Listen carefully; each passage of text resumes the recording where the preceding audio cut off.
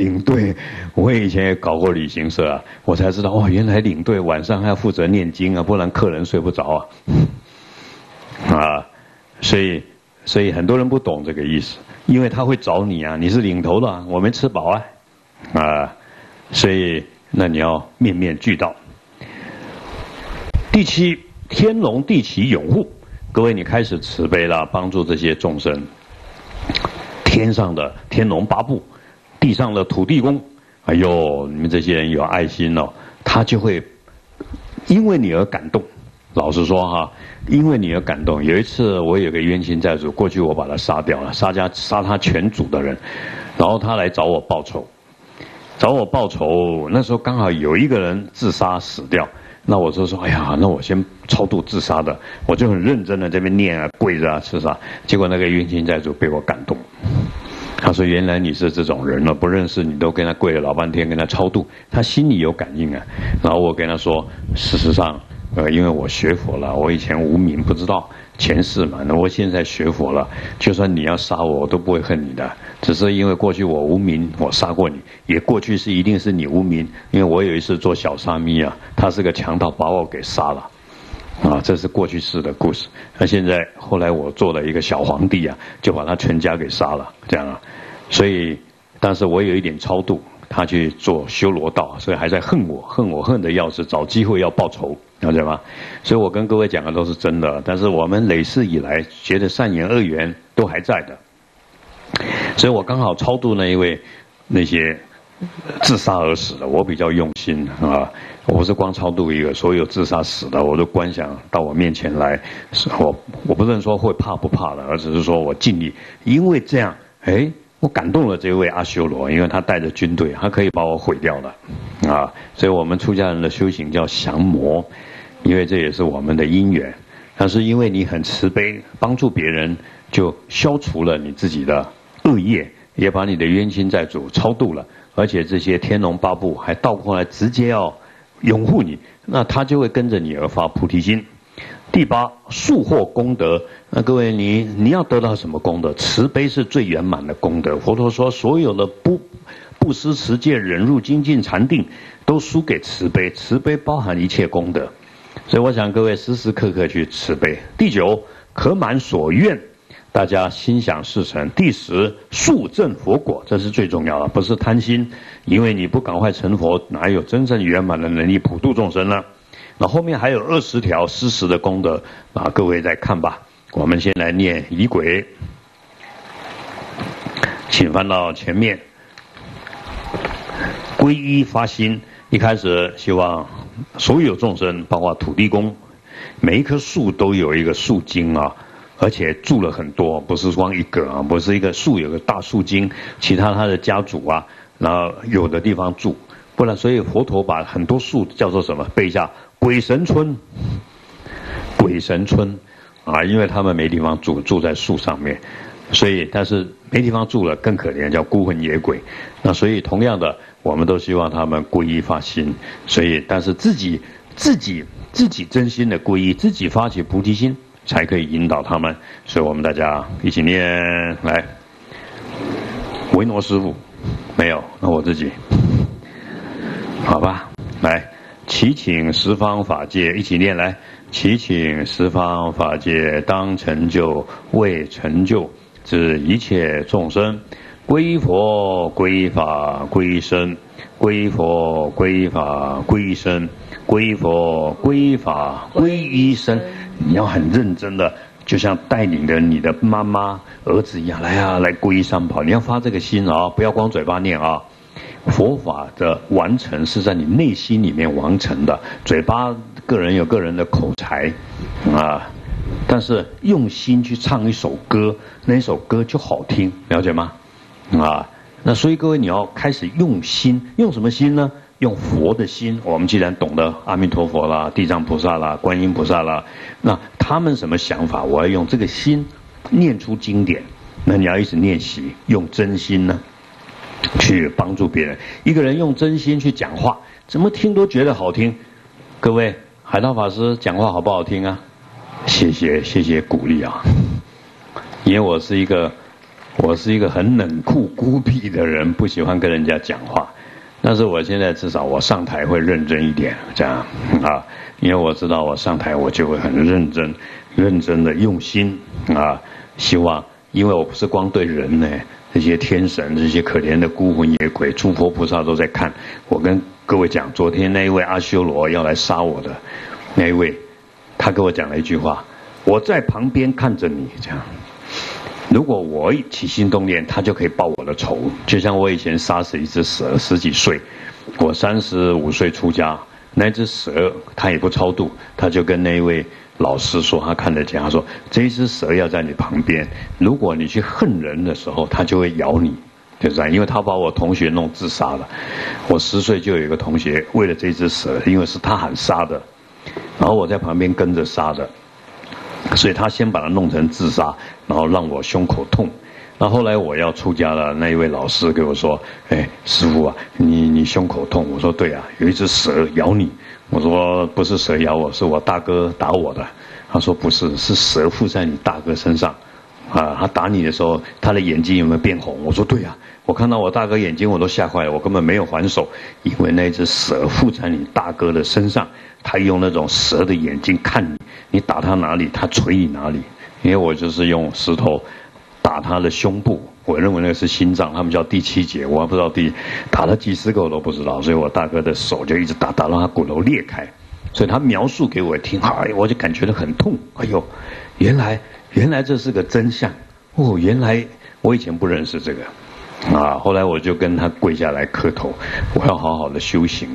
然后呢，希望你去极乐世界。但是老师说他不去极乐世界，他在旁边，他要看着你，盯着你，看你有没有啊？因为他可以报仇的，但是要看你表现的好，他就不咬你。所以我就我我认为这样很好，我很感谢他。没有他，我就不会修行，因为我要很认真，不然他马上报仇，咬死我。所以我一定要感动他。啊，所以各位把敌人成为你最好的朋友，这就是修行。所以佛陀要成佛，一定要。事实上，佛陀成佛的魔王是佛陀把他请来的。佛陀要证明他的悲心，魔你没办法伤害我。原来慈悲才是武器。所以当魔王用了各种的武器，乃至女人，乃至火，乃至刀兵，要杀死佛陀的时候，佛陀就要慈悲三昧，我爱你，我关心你，一点没有畏惧，用真爱。所以那些武器呢，都能变成莲花。所以各位，请你，我们是佛教徒，别人怎么伤害我们，我们都不能抱怨，不能报仇，不能对立，因为慈悲是我们唯一的武器。所以，所以后来那只蛇现在去净土了啊，因为它本来是我的护法，被我感动到成为护法，然后现在去净土了。所以我想各位，你一定要旁边有蛇，有冤亲债主来帮助你，不然你不会精进，你会放逸。一个人的时候，你还是要很认真，所以用这样的心带他们皈三宝来。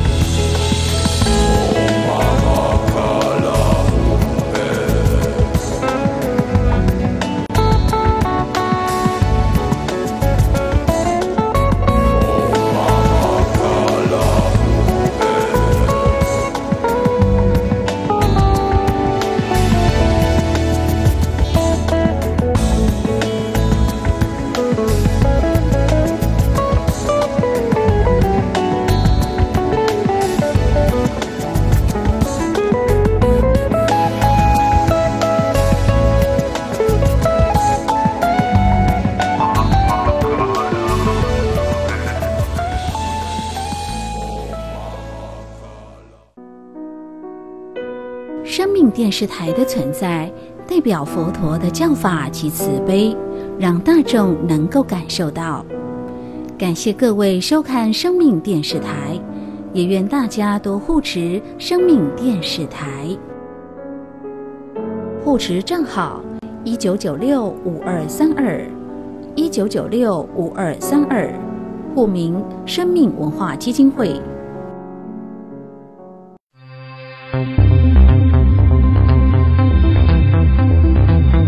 大家好，我是陈市长指挥官。国内武汉肺炎疫情已经控制，但是国际疫情还阁是真紧张。提醒对国外入境的朋友：第一，伫飞机顶来甲喙炎挂好；第二，入境了要遵守台湾入境检疫的规定。若感觉身躯无爽快，请你着爱讲。第三，请配合居家检疫，若有可能的镜头，都爱联络安尼卫生局，毋通家己去看医生。嘛提醒大家，若身躯无爽快。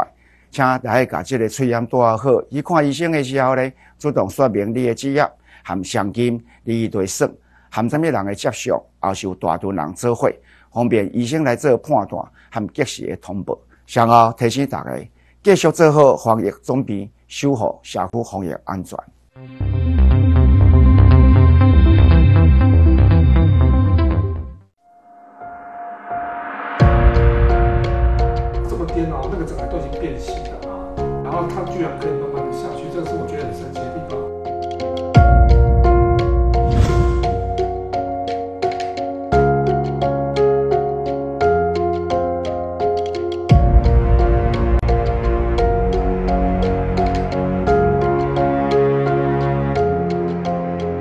宣判不可能，我就是希望有奇迹出现，因为我们身心活化嘛，再站起来的机会是不可能的。我的世界就毁灭了，因为我从小跟哥哥的感感情非常好。新闻事件怎么会发生在在我们家里面？因为这一场车祸，我学佛了。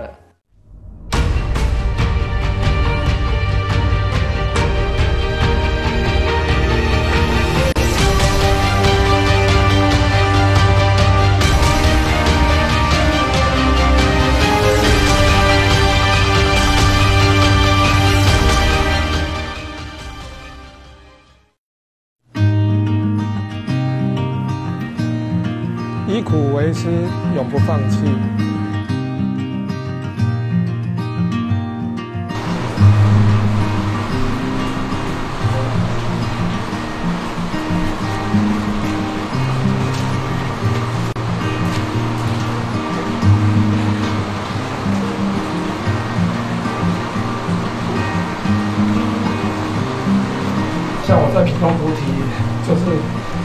每次去外面法会，就一定要用爬的上去。对啊，那有很多热心的师兄师姐也想要帮忙什么，因为知道他们无从帮起，所以只有他知道怎么帮我。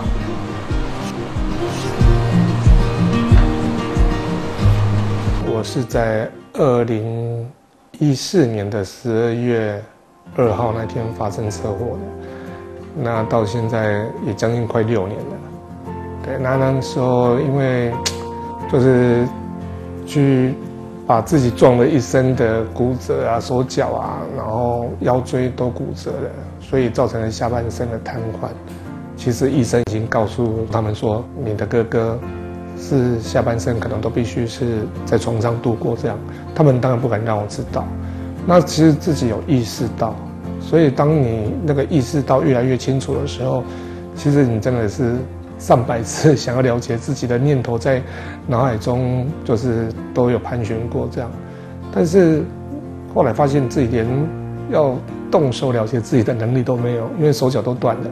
我记得是当天要回家的时候，我跟爸爸在车上，我当时就跟爸爸讲：“哥哥为什么不要这样走掉就好了？因为我很清楚哥哥他的个性，我知道如果他醒过来，知道他自己。”伤成那个样子，他一定不想再活下去。刚发生事情的时候，那个心境一下子荡到谷底啊，就是好像没希望啊，那就是他的伤的那么严重，也欢乐啊那样。我们那时候很很慌乱，很无助，也不知道用什么方法可以帮助他，只知道说惨了，如果他从此之后瘫痪，他的人生可能。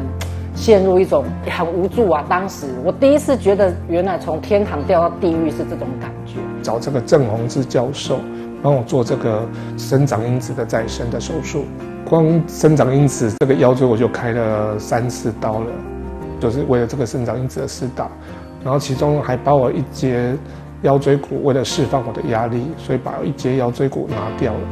然后每次打那个时候非常辛苦，是我要侧面躺，然后缩的像瞎子一样，把腰椎拱出来，然后一根大概这么长的针从后面这样穿刺进去，然后把那个生长因子打在骨头跟骨头的中间的那个软组织。对，所以非常痛，而且打完是要平躺八个小时，不能动。对，因为它是等于把里面骨髓一抽出来，再把生长因子打进去，然后你如果一下子站立起来的话，人是会晕眩的，所以必须要平躺八个小时。它有点像是针灸的原理，但是它并没有侵入性，但是，它却比侵入性的针灸还来得更痛。我光为了做那个治疗，我毛巾都咬破了三条了，然后每次都是眼泪啊，那种大喊大叫的这样，对啊，狂飙。那帮我做治疗那个老师本来是接近植物人，他被他爸爸用这个方式，据说是他们祖传的方式把他救回来，然后所以这个老师他不收取任何费用，他在帮他所谓的有缘人做治疗，因为他从颈胸腰都断，他更严重。结果他竟然可以到处行走啊，甚至在国外，他到处都在被他治疗。那老师也是非常慈悲的一个人。我更相信是佛法的加持，因为有很多是在医学上没有办法、没有办法去解释的事情。就好比说，呃，我的脚、我的脚踝、我的脚踝是粉碎性骨折，那那个结构呢，在那个当下，它其实就已经彻底的破坏掉了。即使它在重建，它这个骨头的那个骨轮之间啊，它没有办法再像最初原来的那么的滑顺，所以它甚至它是增生的，它会阻碍它的滑顺的程度。所以那个脚，我的脚盘身是这么颠的。为了说要能够行走，甚至能够站得平稳，我甚至连截肢都想到过，就是说。干脆就把那个颠起来那个变形的脚踝把它截肢掉，换一个人工的，这样至少我站是没有问题的，甚至可以，也许可以走。那时候想要站，但是医生不建议。对，那时候医生不建议，他说你这个样子，你可能因为我现在最需要是复健嘛，那你这样一松筋那个伤筋动骨下去，你可能又大半年甚至更久，你又不能动了。那不能动，你的肌肉好不容易重建回来的一点肌肉，可能又慢慢的消失掉，对啊。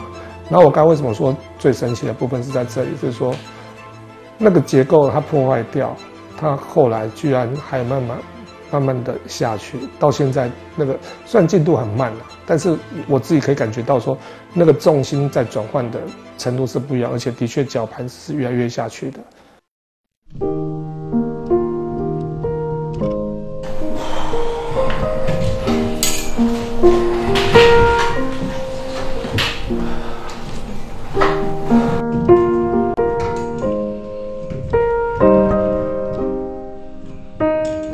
小妈妈就是一个佛教徒，那妈妈小时候也不断的灌输我们说，呃，佛法的种种的好，然后只有佛法才是，才是你唯一的选择，佛法才是至高无上的，诸此类的话，我妈妈从小都一直不断的跟我们灌输这样的想法。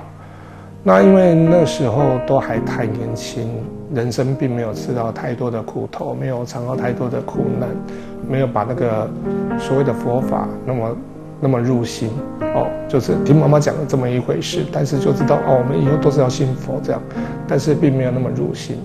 对，那是后来哦，经过这这个车祸，然后就是才算去尝到那个苦，然后跟佛法结上缘，才会。跟这个佛法这么相应，这样人就往往在不如意、失意的时候，才会想要修行，才要想接近佛法。以前生活很好的时候，也不懂得要要要去修行。真正的那个苦的时候，你才知道，你过去所追求的那些，那那些都不算什么。我后来体会到四个字：平凡跟平安才是最幸福的。生命之夜哈，海涛老师的道场这样子，我也跟着他去一次新店的大明讲堂，好去受八关斋戒。后来我们全家人就是把这个希望寄托在佛法里面，啊，就是，嗯，深信三宝，就是说，嗯，我相信他要是有这个因缘，佛菩萨的加持哈，最起码要能够好起来。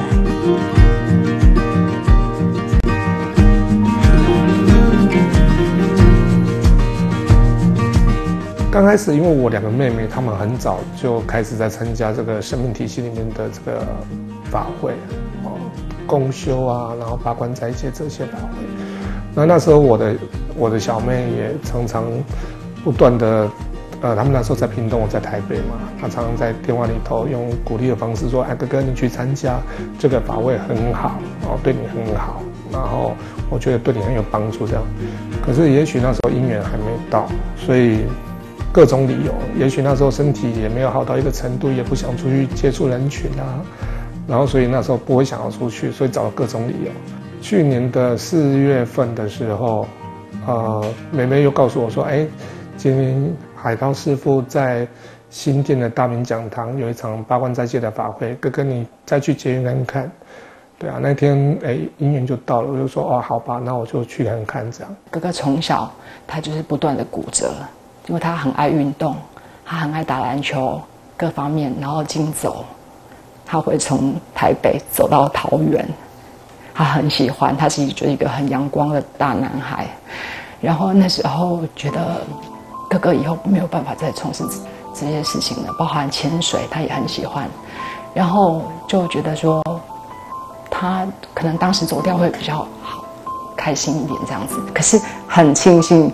呃，我当时那样的想法是没有没有成真。我要很感谢那边的一个叫张秀美师姐的这位师姐，啊，我觉得她在我还没有机会听到师傅的开示之前，我觉得他在第一线，他做了很好的一个引导。他从看到我在那个门口这边徘徊，说我到底要不要进去？因为我的我坐了轮椅嘛，那轮椅毕竟这个轮子在外面走来走去，那道场。人人都是拖着鞋子，所以我在那犹豫，我到底要不要进去。这样的时候，那个师姐第一眼看到我，她就帮我做了所有的引导，帮我安排了位置，然后甚至因为我第一次参加，我都不懂，然后就全程都在引导我这样。那我有时候常在想说，我的法缘很好。如果说我那时候遇到的是，可能也许 比较不是那么热情的师兄姐的话，也许可能。那时候佛法没有入心，也许我转头掉头我就走了，我根本没有机会听到师父的开示。对，所以这个法缘，我觉得我还蛮感蛮感恩那个张秀美师姐的，非常感恩她，她做了很好一个义工的示范，对慈悲的示范。对我觉得那个师姐做的非常好，所以我到现在一直非常感恩她。呃，照顾我十个月的印尼籍的义工安妮，她陪了我去很多很多的地方结了法缘。啊，冒着风雨呢，然后举凡从普佛战经，然后八关斋戒，他都一起去参与到了。然后最重要的是，他还跟我去苗栗弘法院参加了海涛师傅所举办的短期出家。那在那样庄严的气氛之下呢，他也吵着要跟我一起受菩萨戒啊，因此他也有了法名叫做妙心。他的法名还是海涛师傅在面前亲自帮他取的。那他也有了戒牒，他们回教徒往生的时候是要穿白色的衣服入殓的。那曾经不止一次告诉过我说，有一天他往生的时候，他是要穿着黑色的海青回到西方极乐世界。然后现在照顾我的这个也是一年级的义工，他也是跟佛法非常的相应，啊，也是才照顾我到现在才两个月而已。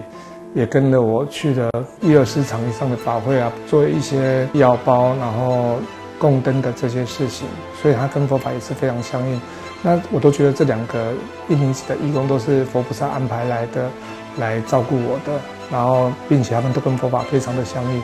对我觉得这点是很殊胜的，因为我刚刚提到说我神经受损嘛，那神经受损，呃，就代表说我的大小便的这个样的。状况不是一般正常人，那我可能我要再出去参加法会，那一整天法会就是一整天了，必须要在前一两天就开始准备，就是准备什么？要第一个要把我的肠胃清空，对，外面在外面不知道什么时候他会突然给我下状况这样，所以我我必须要把我肠子清空，所以那天我发我才能安安心心的出门。炸炸一加蒙二八十六托那地利土波那多大那那蛇眼多大起多眼那国起国地我的家人为我送到现在，为了我送了上已经一万多部的地藏经，都不停的回向给我。然后我一直我们一直都很深信说，今天是地藏经加持我们，让我们所有的违缘都消除了，所以我们才可以去接触到一些。善知识，好比生命体系师傅这些的种种开示，这些我们才有那个福报听得到。如果说我身边的呃违缘还是那么多的话，我根本听不到这些善知识。所以我觉得这一切的因缘都是来自于《地藏经》，所以很感恩这部《地藏经》。然后我们家人也都把《地藏经》当成我们一辈子的志业。这辈子我们会修其他各种的法门，但是一定会把。地藏经融入在我们每天必修的功课里面，也许没有办法读诵到一部，但每天都一定会读诵它几品。对，一定一辈子都每天都会是这么做。我五年到年多到现在，没有当过地藏经，每年都是读诵的。我觉得佛法不可思议，它不会像变魔术一样，让你一下子就感觉到你很神奇的。很神奇的变化，但是它潜移默化，它在带给你心灵上的平静。就好比说我一个生长者，你中间经过了很多的不为人知的一些苦难，其实是人家看不到。我觉得这些地方如果不是地藏王菩萨在引领着我，然后让我的心越来越坚强的话，我觉得我很难走到今天这一步，哎，非常难的。因为其实我看起来不像是一个生病的人。对，那但是其实，在这当中真的经过身体太多太多的考验了。那我觉得这一切都是地藏菩萨的加持，在引领我，然后让我的心里面的素质越来越强大，然后足以去面对这一切。所以说，我很感恩地藏心啊。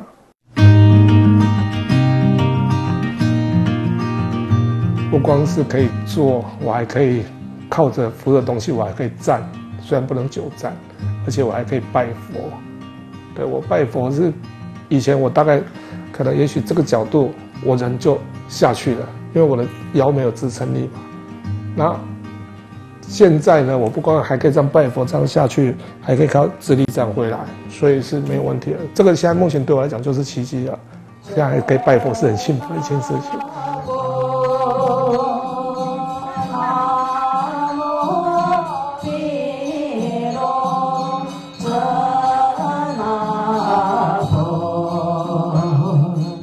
像妹妹会告诉我普佛的行程，哪里有菩萨已经往生了，然后需要我们去普佛，然后我就会跟着妹妹一起去。